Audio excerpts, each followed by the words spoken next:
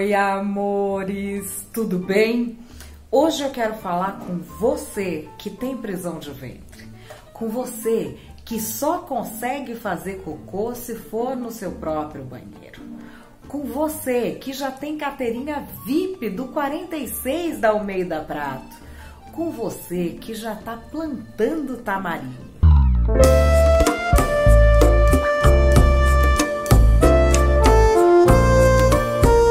Sou Madelene Lasco, sou jornalista há 23 anos e trago boas novas. Agora o seu cocô também se tornou um debate político.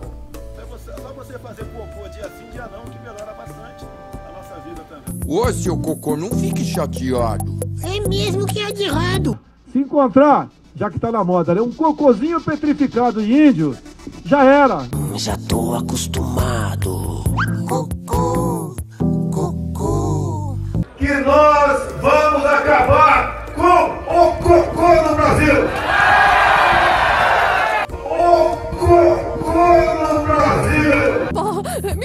Me dá uma licencinha.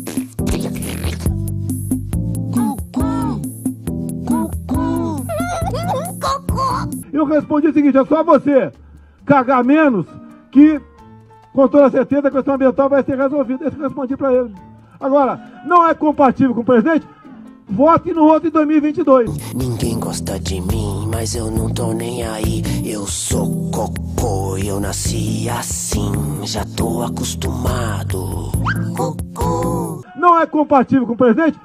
Vote no outro em 2022. Gente, esse é um homem santo, esse é um homem ungido, esse é um homem mandado por Deus, pelo menos na visão de quem tem prisão de ventre e sempre teve vergonha de falar sobre a sua condição. Bom, eu vou ficando por aqui. Se você gostou do vídeo, dê o seu like, compartilhe com os amigos.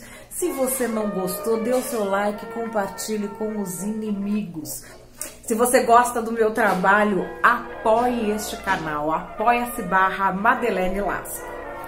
Beijo, amo vocês.